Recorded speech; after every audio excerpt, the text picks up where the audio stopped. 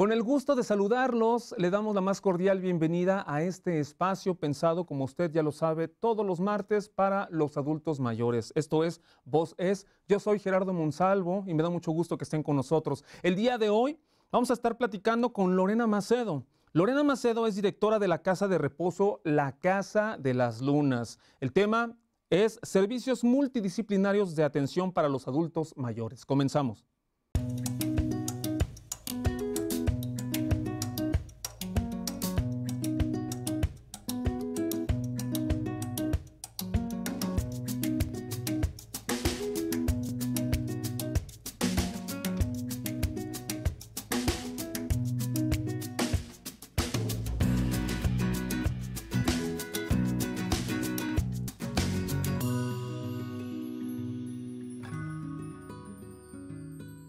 Ya les comentábamos al inicio de este programa que el tema del día de hoy es servicios multidisciplinarios de atención para los adultos mayores. ¿En qué consiste esto? ¿Cuáles son estos servicios?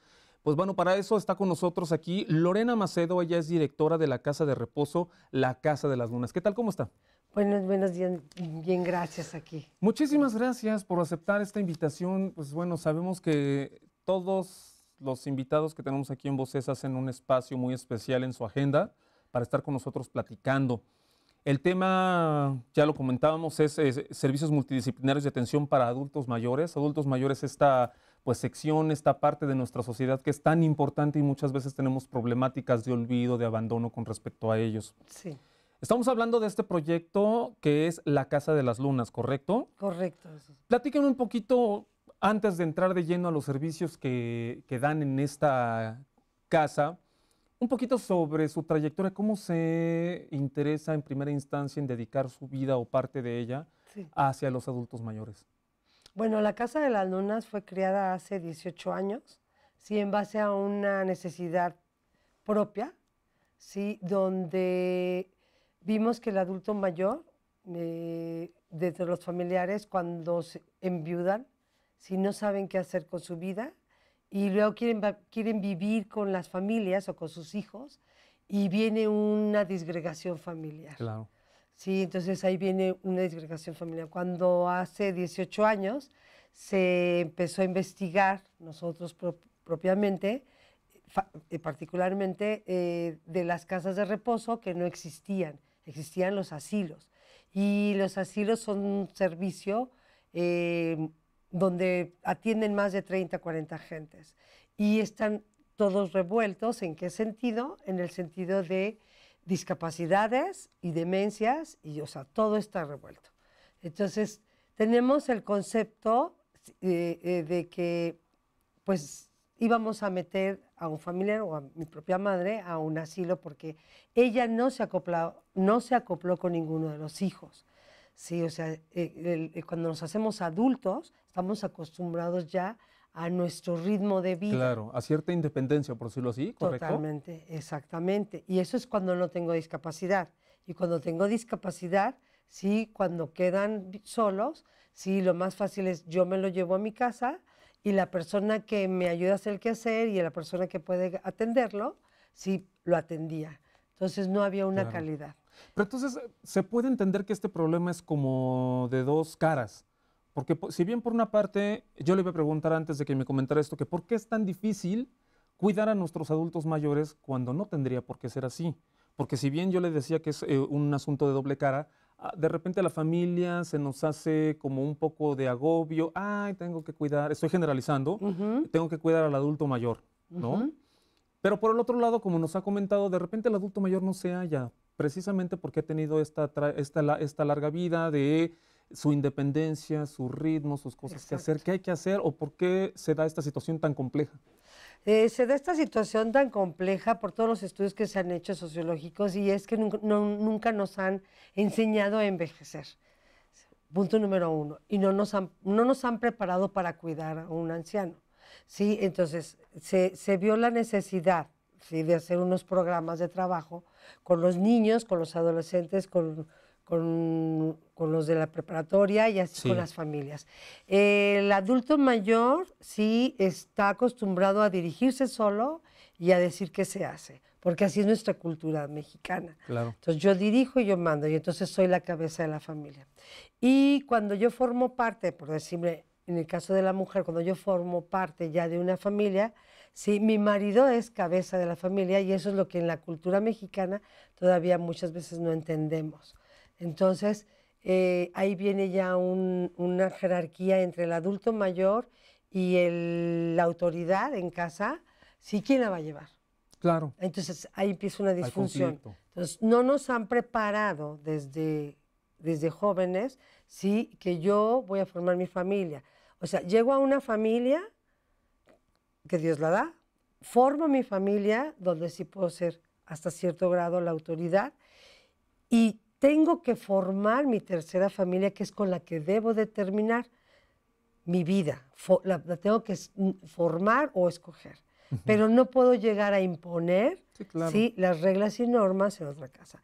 Entonces, este problema lo tenemos porque precisamente mm, desde niños nos deberían de decir que en lugar de cumplo un año y estoy rejuveneciendo, estoy envejeciendo. Suena muy fuerte, pero efectivamente desde que yo nazco empieza la oxidación en el Es cuerpo. una forma como de sensibilizarnos desde temprana edad. Pues sí, Dios, Dios, bueno, los que tienen creencia en Dios dicen que nos hizo a, a su forma y semejanza, idénticos. Pero para no, bueno, nosotros decimos para no hacernos idénticos, pues nos puso la trampa de respirar. Y cada vez que yo respiro, sí, me oxido. Claro. Entonces, eso es, si nosotros entendiéramos eso, desde niños nos cuidábamos. Claro. Voy a dar teléfono de la casa de reposo que está aquí en Cuernavaca. El teléfono es 777-244-3571, ¿correcto? Correcto. 777-244-3571, seguramente está apareciendo aquí en la pantalla. Tenemos que irnos a un brevísimo corte. El tema del día de hoy es servicios multidisciplinarios de atención para los adultos mayores. Está con nosotros Lorena Macedo, directora de la Casa de Reposo La Casa de las Lunas. Regresamos.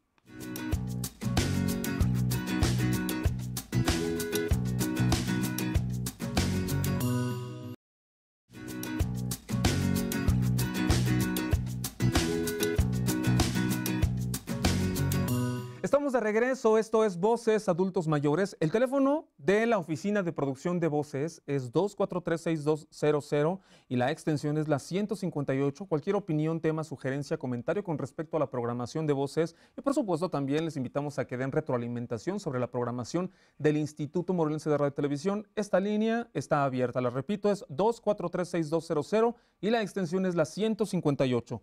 El tema del día de hoy es servicios multidisciplinarios de atención para los adultos mayores. Está con nosotros Lorena Macedo, directora de la Casa de Reposo La Casa de las Lunas. En el primer bloque establecimos a muy grandes rasgos, porque sabemos que este es un tema muy complejo, muy detallado, no nos alcanza el, tiempo para un programa de televisión. Establecimos como un poco la, la escena a grandes rasgos sobre lo que están viviendo nuestros adultos mayores y lo que requieren. Sí. Platicábamos en el corte sobre este asunto que es un gran prejuicio o alguna idea que quién sabe de dónde salió, de que los adultos mayores conforme van envejeciendo más, conforme se van poniendo seniles, son como los niños. Esto no es así. No. Sin embargo, sabemos que no es lo mismo cuidar a un adulto mayor que a un niño. Yo, yo supongo que los adultos mayores requieren como cuidados especiales, cuidados más especializados, por decirlo así. Sí, claro que sí. Eh, precisamente el adulto mayor no es un niño. El adulto, o sea, el adulto mayor requiere de atenciones más especializadas. Claro. En el punto de que si tiene alguna discapacidad, sí, o sea, tenemos que saber sobre la discapacidad y saber el- el- la importancia de los medicamentos que se lleven a cabo. no es nada más, perdón, no es nada más dárselos, sino saber para qué es cada medicamento. Claro. Y segundo es la alimentación exacta sin quitarle sus hábitos. Porque el adulto mayor de eso se queja, se queja con los doctores de ya me va a poner a dieta. Entonces, e- eso es lo complicado, cambiar och- eh, 80 años de hábitos, cambiarlos en un día dos porque se puso muy grave. Claro. Y el doctor también nos dice es muy fácil, no es fácil. Entonces, y no son niños que con un dulce lo voy a incontentar. Bien, de, por sí estamos enojados ya cuando estamos adultos, sí, porque ya no somos independientes. Ujú. Y jamás va a permitir un adulto mayor con la cultura que tenemos aquí en México que su hijo le ordene, aunque sea por su bien. Claro. Y ahí es donde nosotros estamos luch- luchando contra ahí. ese concepto Conflicto de poder, la verdad. del conflicto de, de- de autoridad. Exacto. Pero aquí en, en estas casas, en la Casa de las Lunas, lo que sí estamos muy conscientes es, ellos tienen su autoridad, nosotros tenemos la responsabilidad y debemos de tener una convicción total en, en lo Claro. que- en las personas que, que trabajan, en que el adulto no es un niño y que puede todavía gobernar sobre su cuerpo, ¿sí? Pero tenemos que ser consciente de hasta dónde. Claro, es precisamente todo este precepto, toda esta premisa que estamos platicando de los cuidados especializados de un adulto mayor, en donde se hacen necesarios lugares precisamente como eh, la Casa de las Lunas. Platícanos un poquito y a grandes rasgos sobre este proyecto La Casa de las Lunas, ya nos lo dijo eh, a grandes rasgos también en el bloque anterior, pero ¿qué servicios son los que se están eh, eh, realizando allí, los que se ofrecen? ¿Cómo podría ser, por ejemplo, el día a día de un adulto mayor ahí? Ok. La Casa de las Lunas es, un proyecto que se hizo hace 18 años. Sí, fue monitoreado por la Secretaría de Economía. Nos tuvimos que tener un- una experiencia de dos años en la Casa de Chihuahua, porque así lo nos dijo, hasta que se avalara y se viera que tiene un sistema operativo exacto. Paréntesis que quiero aprovechar para decir, ahorita que lo comentó, tienen una casa de las lunas aquí en Cuernavaca, ¿correcto? ¿Sí? Pero bueno, ustedes son... A nivel eh, A nacional. nivel nacional. Ujú. Fue creado este sistema operativo para cuidar al adulto mayor para los mexicanos, o sea, no para extranjeros, ni nada, sino para los mexicanos. Así que sabemos que somos familia, que sabemos que nos gusta mucho la chorcha y que sabemos que nos gusta comer delicioso, mucha Claro. grasa y todo eso. Entonces, este, nuestro personal, o sea, efectivamente, ¿qué hacemos? Primero capacitamos a nuestro personal, sí, que debe de tener, el perfil es un apostolado. Un apostolado que, que para nosotros quiere decir una convicción. Voy a entregar mi vida para cuidar a un ser humano. Claro. No es que soy enfermera, que soy auxiliar de enfermería, que soy médico, que soy tanatólogo, que soy terapista. Si no tengo la convicción y el apostolado, no puedo cuidar a un adulto mayor. Nadie me puede forzar, ¿por qué? Porque eso nace de- del interior. Sí, son gentes muy especializadas. Y, un y una, el día de un adulto mayor en Casa de las Lunas es diferente al de al lado. O sea, aquí no es de que hoy tomamos terapia de, de canto y lo toman todos. O sea, no es una escuela, Ujú. sino cada, cada adulto mayor es un individuo, ¿sí? Que tiene su voz y voto, si es que todavía tiene conciencia, o sea, que todavía está sin demencias, y puede él decir si la toma o no la toma, si la quiere o no la quiere, y puede, es un individuo que todavía tiene capacidad eh, autónoma. Sí, claro. Entonces, nuestras terapias sí son todas diferentes conforme a cada individuo. No se les va a forzar, aunque las familiares lo requieran. Lo que sí hacemos es la terapia de movimiento forzoso Claro. y el masaje para reactivar circulación.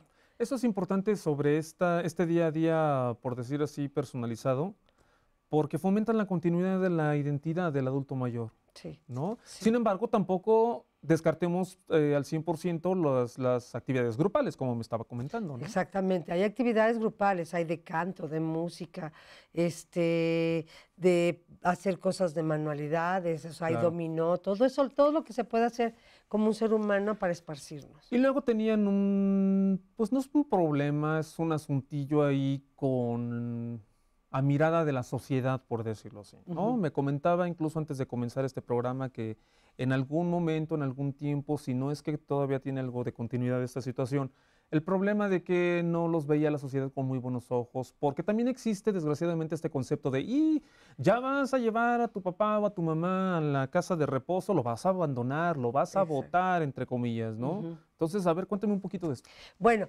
efectivamente, eh, las familias piensan sí, que- el ir, a, el ir a meter a un adulto mayor a una casa de reposo en general es, es aventarlo. Y realmente no, es darle su lugar exacto para su vejez. Exactamente. ¿no? Entonces, ese, ese es el concepto y el cambio de cultura que estamos todavía Sí, claro. generando e- entre la sociedad.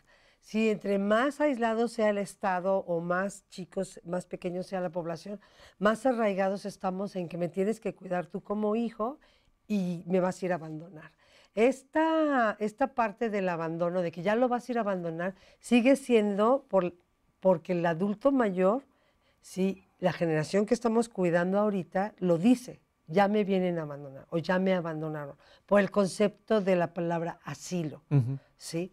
Entonces, aquí es donde generamos un cambio completo, donde nuestra misión es que las familias, día con día, cada vez es más cara la vida, Claro. las familias puedan ir a trabajar en paz, con calma, y el adulto mayor sí se concientice de sus enfermedades, sí, y de que efectivamente él está aportando para que esa familia de sus hijos sigan teniendo un beneficio, Claro. que no sea una carga social. Bien. Voy a repetir, más bien voy a dar la página. Tienen una página de internet, www.lacasadelaslunas.com. Aparece aquí en pantalla, www.lacasadelaslunas.com. Es ahí donde van a poder obtener información con un poquito mayor de detalle. Eh, también los teléfonos para comunicarse eh, sobre estas, los servicios que están dando aquí en esta casa de reposo. Nos tenemos que ir a un brevísimo corte. Está con nosotros Lorena Macedo, directora de la Casa de Reposo, la Casa de las Lunas. Y el tema del día de hoy es servicios multidisciplinarios de atención para los adultos mayores. Regresamos.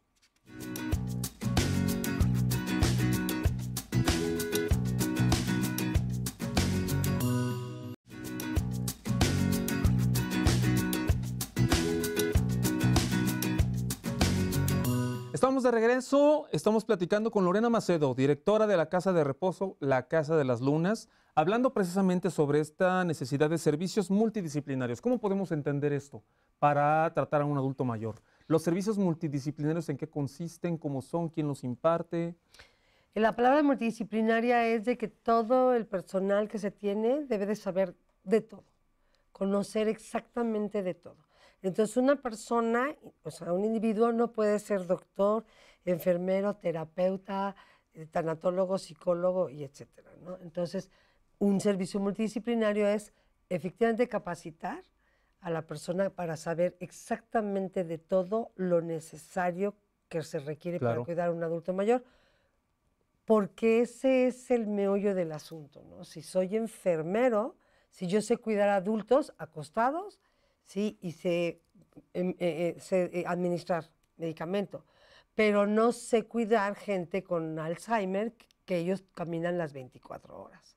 Entonces es muy diferente la psicología. Claro. Entonces, el servicio multidisciplinario es, lo vuelvo a repetir, es- se da con una convicción que voy a dedicar mi vida a un ser humano. Es dedicarle su vida a un ser humano, no es, no es tanto un trabajo, es un apostolado. Si hay perfiles de personas que tengan esta vocación, eh, Claro. me parece que incluso ustedes tienen un nombre especial para este tipo de personas. Sí, o sea, efectivamente nos, el perfil es eh, la persona que no se, dio, no se ha dado cuenta, sí, que en determinado momento pudo haber sido misionero, pudo haber sido, no decimos eh, monja porque no, no, es, no, es, no es el perfil exacto, pero el- lo- eh, las personas que sí realmente son altruistas, pero altruistas de nacimiento, Claro. de convicción.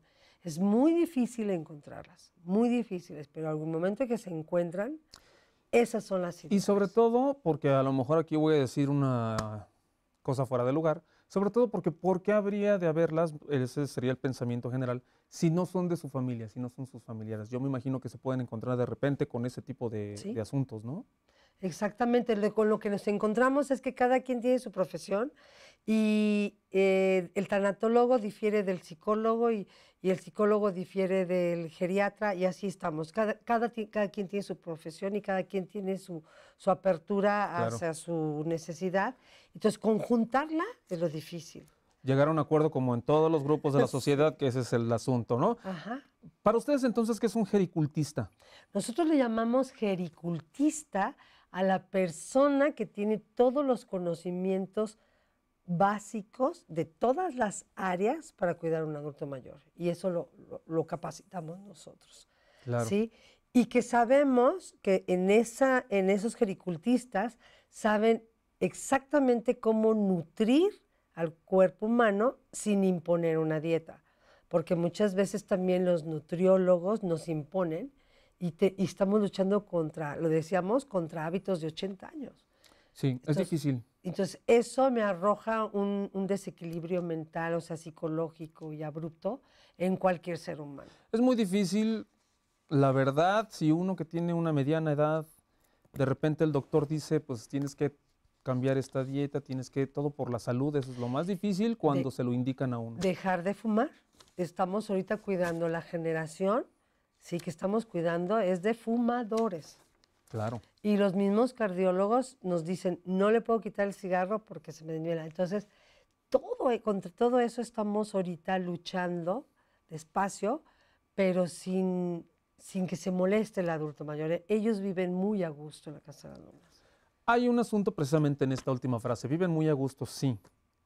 ¿Qué pasa con sus familiares y hablando, retomando todo así a muy grandes rasgos de lo que hemos platicado, que si el prejuicio de que si ya me vienen a abandonar, que no te puedo cuidar en casa, te voy a, aislar, entonces te voy a dejar eh, en un lugar de estos, ya vimos que no es así. Pero ¿qué pasa? ¿Se da una continuidad con el contacto eh, de los familiares? Cada cuándo se, los, eh, se les permite ver o, tienen entrada libre para ver a su familiar adulto mayor? Sí, en, nuestras casas, en la Casa de las Lunas, el adulto mayor es libre. Puede entrar y salir a la hora que quiere y cuando quiera. Pueden ir a verlo diario, llevárselo diario. O sea, en la Casa de las Lunas es, es su casa. Es, casa del adulto. Es como si dijera, voy a ir a ver a mi papá a su casa o a mi mamá a su casa. Así es, son sus casas, no se, no se quita ese concepto. Y la responsabilidad de la familia tampoco se quita ni se les obliga. Las familias tienen una responsabilidad, sino que es que, que, se fomente otra vez el cariño, porque se llega a perder a veces, limar asperezas y toda esa parte tan difícil de una familia y, que lleguen a tener ellos el contacto, pero sin obligación. ¿sí? No somos nadie para juzgar, ¿sí? Ni el adulto mayor puede juzgar y eso es lo que aprendemos junto con ellos. El adulto mayor aprende a perdonar y muchas veces estaban enojados con sus hijos y sin querer piden ellos perdón y eso es cuando la, viene la, fusión de la familia entre ellos. ¿La incursión del adulto mayor en la Casa de las Lunas es por decisión propia o se ha dado el caso de que haya tenido que ser alguna eh, decisión de los familiares? Eh, la mayoría la mayoría es por decisión de la familia. El adulto mayor ahorita todavía no tiene el concepto de me voy a ir a, voy a terminar mi vida en una casa de reposo. El extranjero sí lo tiene, lo tiene muy, muy conceptualizado y así ahorra desde un principio para meterse en alguna casa de reposo. Eh, ahorita nosotros no. Eh, se hace por votación, por votación familiar y es porque sí, efectivamente está, está habiendo un crack con la familia, de quien lo cuida y no lo cuida, etc. Entonces el adulto que cuidamos llega enojado. Sí, claro. Pero cuando trabajamos ya con ellos, este, entienden y por eso le digo, luego ellos mismos dicen, no, esta es mi casa, porque en, su casa el adulto mayor puede decir, hoy no te recibo, hoy no te quiero ver. Claro. Todavía ya tiene su, él tiene su autoridad, que en casa de sus hijos la pierde. La debe de perder. Sí, claro. Porque ya no es su casa. Pierde territorio, por decirlo así. Vamos a dar la dirección. Están ubicados ustedes en Río Pánuco, número 302, en la colonia Vistahermosa, ¿correcto? ¿Qué, tenemos de referencia por allí para ubicar a las mm, personas? La Cruz Roja. Está la Cruz Roja. De hecho, por ahí creo que también ya está la nueva, este, bueno, ya tiene algunos dos o tres años, la nueva Facultad de Medicina de la UAM. ¿Y en qué otros estados están? Bueno, estamos en lo que viene siendo Puebla, eh, esa Puebla, bueno, en el Distrito Federal hay muchas, muchas casas. Eh, estamos en Metepec, estamos en Toluca, eh, bueno, estamos ahorita aquí en Morelos, aquí en Cuernavaca, estamos en Aguascalientes, en León, en Colima, en Mazatlán, en Puerto Vallarta, Nuevo Vallarta, Chihuahua, eh, se va a abrir, bueno, Monterrey, sí que está aperturando. Eh, ya a partir del año que entra, pues viene Durango, San Luis Potosí, o sea, conforme se va abriendo la cultura. Claro, tienen muchos planes. Muchos planes. Pues ya no nos queda más que agradecer mucho su presencia. Ay, muchísimas gracias. Más que nada, pues ojalá sirva para hacer un cambio de cultura en todos nosotros, sí, de que es la única forma de poder vivir para cuando seamos adultos. Claro. Sí, y que ojalá ya haya personas que nos puedan cuidar, porque esto no es una carrera. Sí, claro. No es una carrera. Es una. importante. Es un, volvemos a decir, una, un apostolado de entregar la vida para cuidar a un ser humano. Perfecto, pues Lorena Macedo, directora de la Casa de Reposo, la Casa de las Lunas, muchísimas gracias de nuevo. Gracias. A todos ustedes que estuvieron con nosotros, pues muchísimas gracias por poner atención en este capítulo del día de hoy. Voces Adultos Mayores, servicios multidisciplinarios de atención para los adultos mayores. Yo soy Gerardo Monsalvo y nos vemos y nos escuchamos en la próxima emisión de Voces.